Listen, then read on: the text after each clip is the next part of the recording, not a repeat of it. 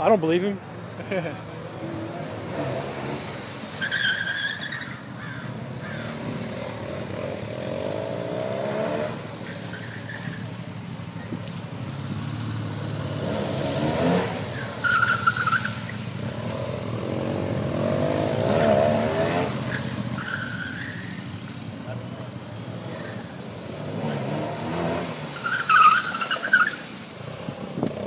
Tax dollars at work, I'm glad somebody's using them right.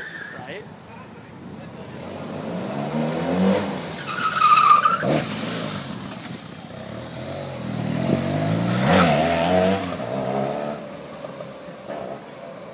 Yeah. Last time I did that, he pulled me over.